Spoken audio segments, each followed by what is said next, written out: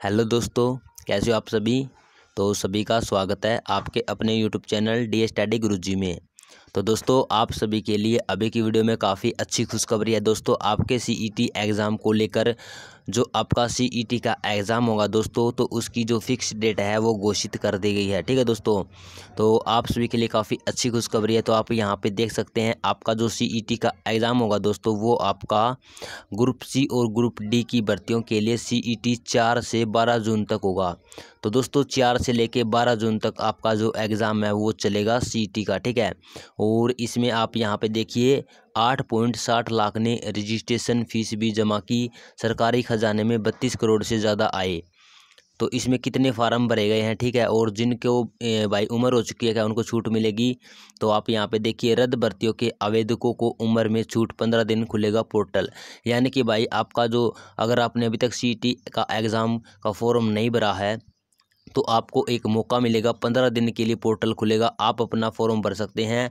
और दोस्तों, आपने पहले फॉर्म भरे थे, उसके अकॉर्डिंग अगर आपकी एज ओवर हो गई है तो आपको एज में भी छूट मिलेगी, ठीक है? तो यहाँ पे देख सकते हैं, एचएससी के चेयरमैन भोपाल सिंह खदरी के अनुसार सरकार ने पिछले दिनों सीटी को ध्यान में रखते हुए भर्तियाँ रद्द की।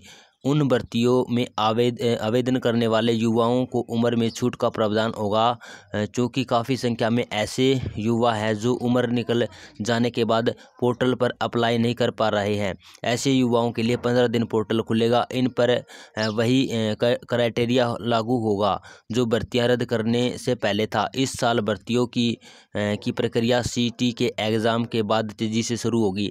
इकतीस मार्च दो हज़ार तेईस तक ग्रुप सी और ग्रुप डी और टीचर के अलावा अन्य भर्तियाँ भी भाई होनी है आपकी, ठीक है? तो अपनी तैयारी शुरू कर दें। और यहाँ पे देखिए जो पेपर लेगी, वो कौन सी कंपनी आपका पेपर लेगी? तो पेपर भाई यहाँ पे आप देख सकते हैं परीक्षा का जिम्मा एनटीए को। बड़ी चुनौती, क्योंकि पेपर लीक के कारण दो दो भर्ती रद्द करनी पड़ी, ठीक है? तो पेपर आपका भाई N T N T A company है, वो लेगी। और यहाँ पे आप देखिए चौंतीस हज़ार नौ सौ उनचास ने फ़ीस नहीं भरी, ठीक है? आठ पॉइंट बाईस लाख ने ग्रुप सी और डी दोनों के लिए आवेदन किया। यानी कि आठ पॉइंट बाईस लाख बच्चों ने ही यहाँ पे आवेदन किया है आपके सी पेपर के लिए। और सीटी पेपर आप सभी को पता भी कब होगा, ठीक है? तो आपका सीटी का पेपर चार जून से बारह जून तक होगा भाई। धमाकेदार खबर है, सभी के लिए तैयारी शुरू कर दे दोस्तों। आपके पास में दो से ढाई महीने ही है तैयारी के लिए, ठीक है? अगर आप जॉब पाना चाहते हैं, अपना सपना पूरा करना चाहते हैं तो भाई आप कर सकते हैं। आपके पास में सुनहरा मौका है।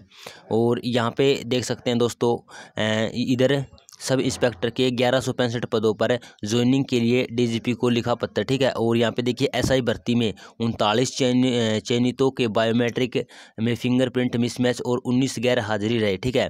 तो एक ये बड़ी अपडेट अभी आपके एसआई एग्ज़ाम को लेकर। तो दोस्तों, ये थी भाई लेटेस्ट अपडेट आपके सीईटी एग्ज़ाम को लेकर कि सीईटी का एग्ज़ाम कब होगा। तो पहले सभी को पता, अभी कभी बोले थे, अब अप्रैल में होगा, कभी मई में, कभी जून में।